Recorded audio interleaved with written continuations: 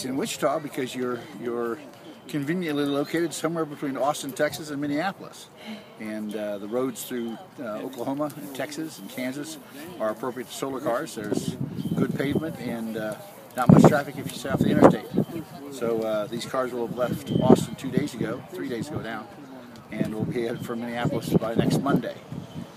So the car is powered purely off of solar energy, which is where all the solar panels are used for, and then there's a battery inside that can store the energy from the sun.